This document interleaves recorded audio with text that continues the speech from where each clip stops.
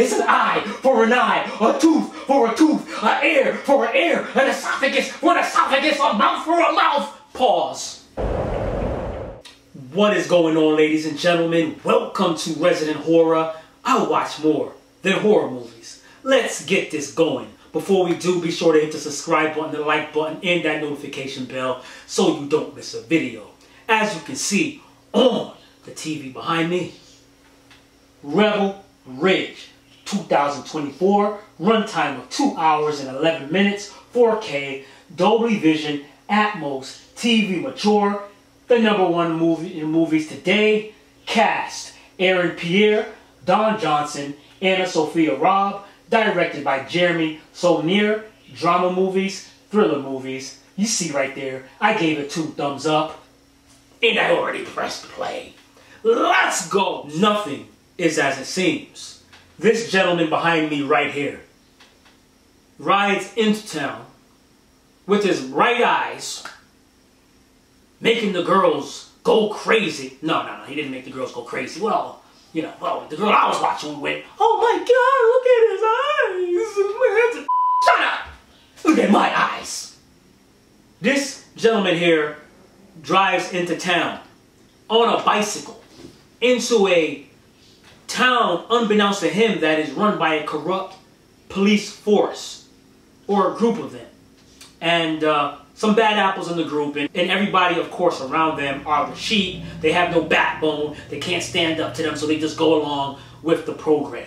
But this film I loved. It really, I felt this. But I have some major gripes with it, but doesn't stop it from being a very good film. Now, he has 30K on him while he's riding into this town on a bike. He crosses the line.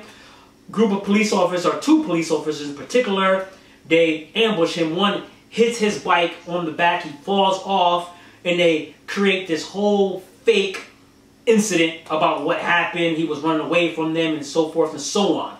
Sounds familiar. Now, while doing that, they come about 30 he has $30,000 on him which is legal money which he sold his truck reason why he was on the bike. It was to be used to post bond for his cousin who was being transferred to prison in which he would have been unalived if he went there because he's a snitch. That's what happens. Snitches get stitches. Well not all the time. It depends on who the snitch is I guess and how much clout they have. Anyway he now is robbed of his money so he goes into town, goes to the police station to file a report, and once he mentioned the name, the last name of one of the officers, the lady that was taking the report said, wait a minute, I gotta call the chief. So he tells the chief, the chief tells him, listen, get out of here. This gentleman here is like, nah, I just need my money, you know, and we call it a day. I forget about the, the bully beat down that the cops did on me and all that. Just give me my money let me post bond for my cousin, and I'll be out of your hair out of this town. The chief now thinks this is a pissing contest. Nobody can tell me what to do! My town! All of this nonsense, you know, his balls are strung too tight. You know, he's up on a high horse, you know, but his horse legs are about to get clipped off. And he's gonna roll down the hill and tumble and break his back. That's what I wished happened to him. But you, sir, were too tame, too respectful, too polite for no reason. And that's what pissed me off about this movie. So he continues his spiel telling them that his cousin's life is at danger if this bond is not posted. And they pretty much tell him to off. Okay? So he's like, ah, okay, all right. You know what, okay. So he goes about his business. Um, they have some, some issues back and forth along the way.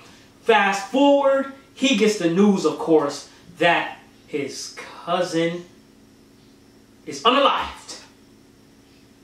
Unalived. And from there, the movie just pew, takes off like a Boeing. Ah, but one caveat. Not one offender was unalived by this man. They are shooting at him, trying to take his life, overdosed his friend on, on you know, certain uh, narcotics constantly. And you do not take not one of their lives? Are you kidding me? Your cousin deserves better. Cousin is unalive, turning in his grave. Could you please eliminate at least one of them, please, sir, from six feet under? The spirit didn't even come up on the ground to whisper in his ear and say, please unalive these fools. No. During the whole gunfight, there's gunfights where he's unloading the shotgun. Click, clack, click, clack, click, clack, click, clack, click, clack, shells flying out.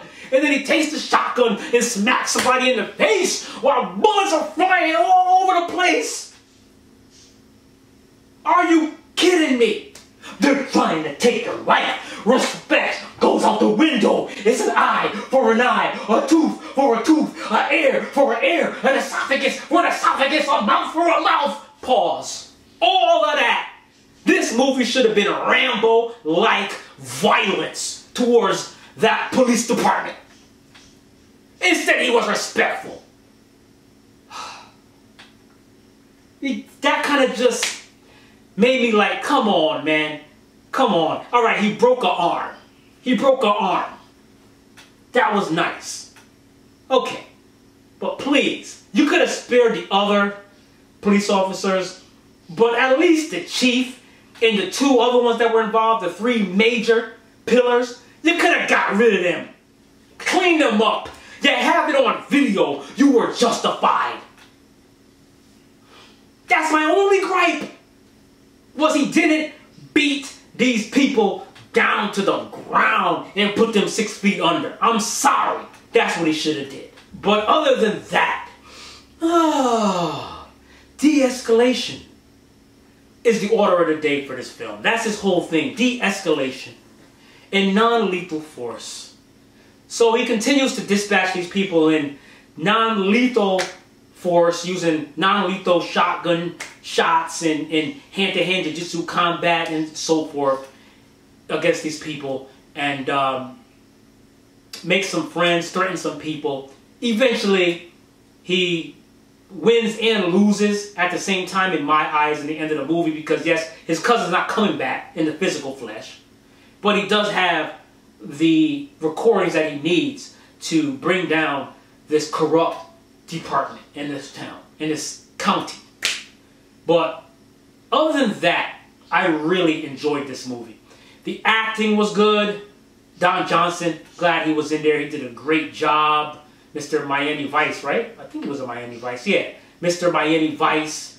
The young lady, Anna Sophia Robb, excellent job. Aaron, Aaron Pierre, he was fantastic. His facial expressions, he did a really good job with the role. With the role. So, I mean, I would definitely check this out. The sound, although it says here Dolby Atmos, of course, this is stream. Eh, sound was average. Not the best sounding um, movie. But it is not all about the gunshots and all of that. So it didn't have a lot of that, but you know, it's, it's average, good enough.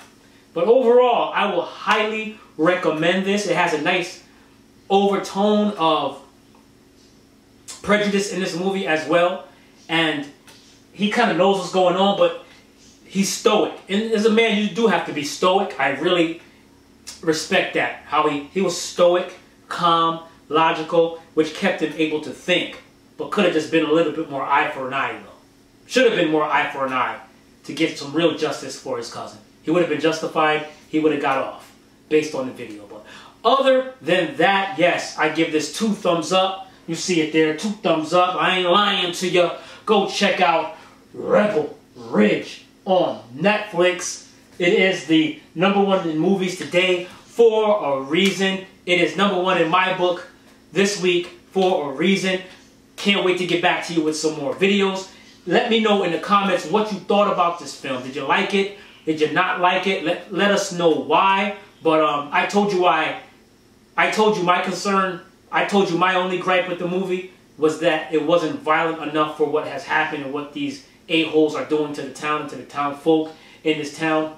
They should have got some real six feet under justice. But like I said, other than that, wonderful film. I liked it a lot. So, Resident Horror signing out. You know what to do. Stay spooky. Hit the subscribe button, the like button, and that notification bell so you don't miss a video. You can help get this channel monetized again because YouTube robbed me.